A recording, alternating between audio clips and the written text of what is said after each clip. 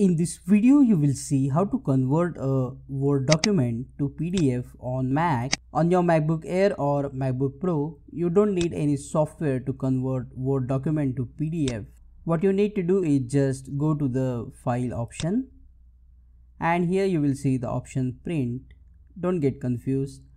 This print option can be used to save this Word file as a PDF. After clicking on it, you will see this window and you will see the preview of your Word document here.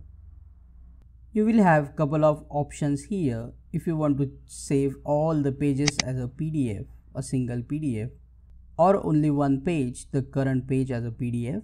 And you can also give the range for example if you want to print from page 1 to page 9 so you can just enter page 9. After selecting this option most important here you have to select instead of PDF save as PDF. So as soon as you select the save as PDF option, you will see this window. Select the destination where you want to save the PDF file. Give the name to the PDF file and here you will see security options.